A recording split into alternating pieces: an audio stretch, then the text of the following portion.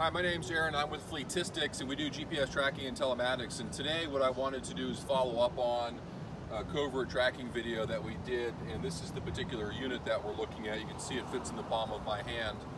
Uh, it's got a couple magnets on the back so this thing can uh, be hidden on a vehicle. And what I wanted to talk about is how to place a, uh, a covert tracker on a vehicle to make sure that you get the best results.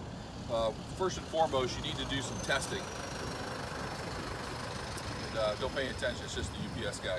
So uh, you want to do some testing. Uh, vehicles are made in different ways. Uh, there's more plastic in certain areas, there's metal frames in different areas. So uh, doing some testing on your own vehicle will give you a really good idea of some of the challenges that you may run into when you are doing covert tracking. One of the things to take into consideration is how high the vehicle is because if you think about this being placed underneath the vehicle, the, the signals from the GPS satellites have to actually go underneath the vehicle to be received by the antenna in the device. So the angle of that signal reflection off the ground is impacted by the height of the vehicle. So the lower the vehicle, the, the harder the, uh, the scenario is going to be for the GPS unit to receive a signal underneath the vehicle. In this particular vehicle, uh, we can go down here and we can just simply stick this up underneath the rail. Now that's metal, which is going to block a GPS signal, but the signals will go underneath the vehicle and reflect around and actually get picked up to determine a location uh, on this tracking unit. I will tell you, I will tell you that after having done this for 10 or 15 years, covert tracking, uh, you know, 15 years ago was simply not going to get a GPS signal like that underneath your vehicle. But today, the GPS antennas are so much better that you can get a signal in a lot of different places. Uh, if we look up here on this particular vehicle, you know, we could look up underneath the tire, uh, which isn't a bad spot because you get good reception. The problem is the thing's coming off the road. So if you uh, took this truck off road or you picked up a tire and you threw it into the GPS unit, you could break the unit and then you know, obviously you're losing your covert tracking at that point, which is really the goal here. Uh, you can move around to the front. We've got a metal bumper here, but we've got enough room here that we could slip this device in here like this and kind of tuck it back in and the casual observer would have no idea that that tracker is there.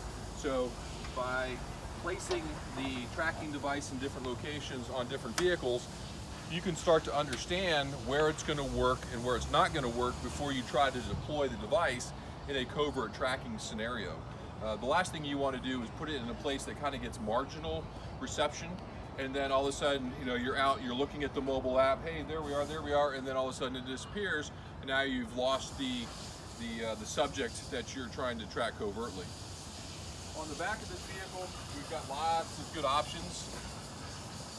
Uh, you can see underneath here, you can see the frame of the vehicle itself. We could very easily stick this in there and attach that to the frame of the vehicle. Something just like that. So uh, this is going to get a relatively good reception down here. We've actually test driven this particular vehicle with the GPS unit stuck to the frame on the inside of the truck.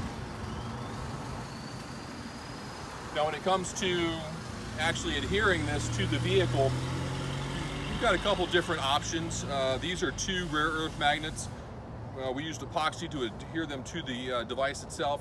You can get some of the other uh, devices that are on the market. They got the little Pelican cases you can put the unit in, but this particular unit is rugged and uh, we can get this to you with a solar panel. So even though it may not be in direct sunlight, it's getting reflective light, which is going to help recharge these batteries and keep them going for a longer period of time.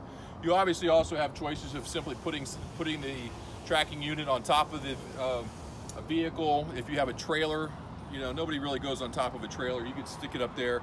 It'd go on in just a couple seconds. It'd be super simple.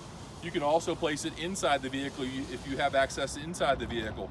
You can pull the panel down in the front, stick it up underneath the dash, potentially put it underneath the seat, unzip the seat, slip it in the seat. As long as you couldn't feel it when you were sitting on it, that would work as well. So um, again, the important part about the whole thing with covert tracking is to test it on different vehicles and then get a get that feel before you actually go out and try to deploy it in a real world application. So if we can help you with that, we'd love to uh, talk to you about it. Give Fleetistics a call. Uh, we'll put the number on the screen or you can go to 4agps.com. It's nice and simple. It's 4agps.com and we'll also post a link in there. Uh, give us a like down below and we'll talk to you soon. Thank you.